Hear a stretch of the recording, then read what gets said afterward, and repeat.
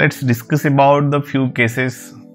So when patient came towards you about the cold or running nose just after exposure to the cold winds or he might be go into the went into the cold atmosphere. And suddenly he catch the cold but after or a sneezing or after just in a few hours he is recovered soon spontaneously. He never need any kind of complaints. And this type of problems are recurrently for so many days. Another example when baby come towards you with the war infestations and recurrently or uh, one time. But he again recover himself spontaneously. Sometimes some patients will come towards you after eating of certain kinds of foods like uh, ice cream or any cold foods or any warm drinks or any kind of food they suffer from certain kinds of ailments. And they themselves recovered spontaneously within a one hour two hour and more than three to four hours. They don't need uh, any kind of aids or any treatment during that period.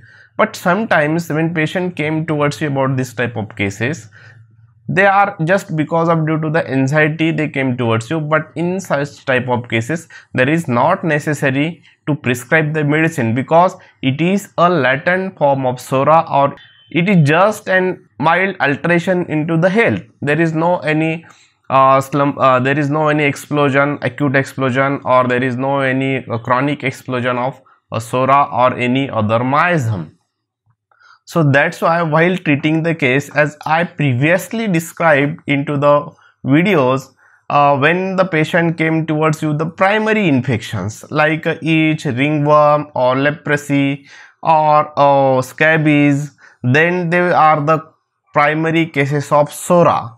If patient came towards you about the condylomatous gonorrhea so these are the cases of primary sycotic. If patient came towards you with the venereal chancre, it is a primary syphilis.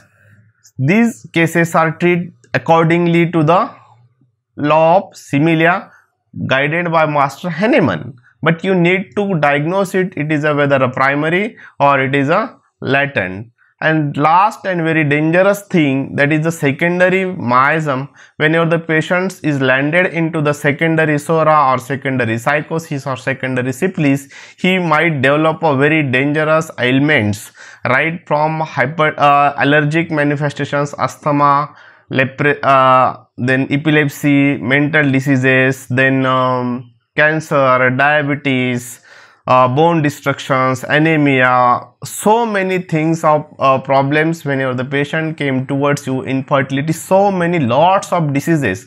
We are just giving the names of diseases, but in the chronic disease book of Master Hahnemann, he give the hundreds more than hundreds of symptoms of secondary psora that you are able to diagnose or you are able to understand the pathological condition of the patients. If in the management of your diseases in your clinic setups so it is very important.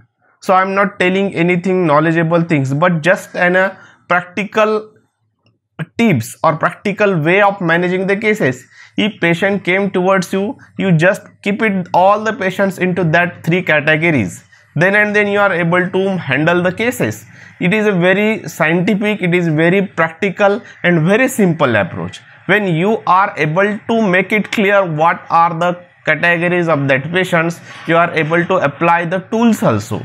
What are the tools? The while treating the acute cases you need might be a, a remedies or short acting remedies if patient is in a secondary conditions you need a chronic diseases uh, you need to treat accordingly to the specific remedies of antipsoric antisycotic and antisyphilitic and in case of latent psora just and dietary instructions assurance and just uh, health advices helps to the patients.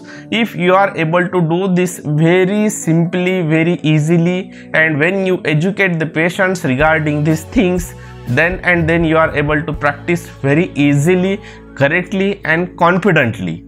Thank you. Let's meet into the next video. Friends to motivate me so please like share and comment. Thank you